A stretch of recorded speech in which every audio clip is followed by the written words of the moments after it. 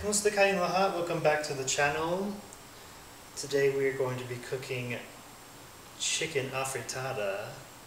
So the ingredients you need to cook chicken afritada is we need chicken, carrots, potatoes, an onion, red onion is good, some rice, garlic, salt and pepper, tomato sauce, tomato paste, and some chicken flavoring. Alright, so first you just boil some oil into a pan and heat the pan up. So you just add your garlic and onion into the pan.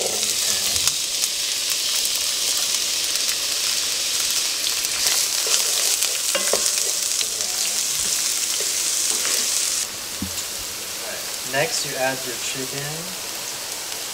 Diced up.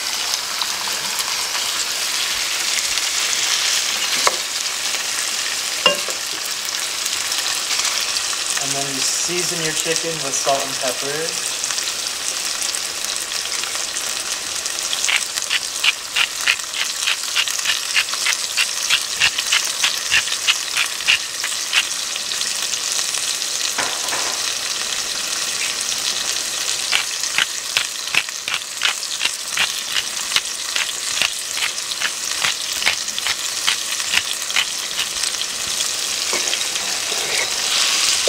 Alright, so once your chicken is pretty cooked and looks good, go ahead and add your potatoes and carrots.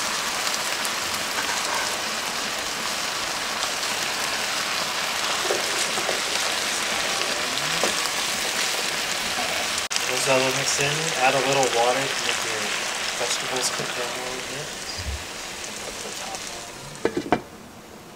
Wait till your vegetables are pretty soft you.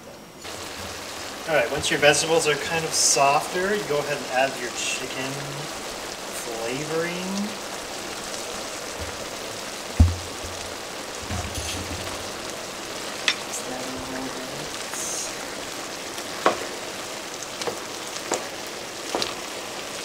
And then you add your tomato sauce.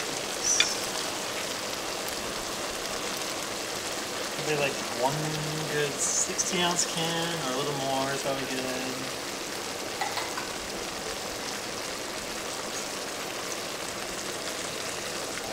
Just mix your tomato sauce all. So once all your potatoes and carrots are soft, go ahead and add your tomato paste.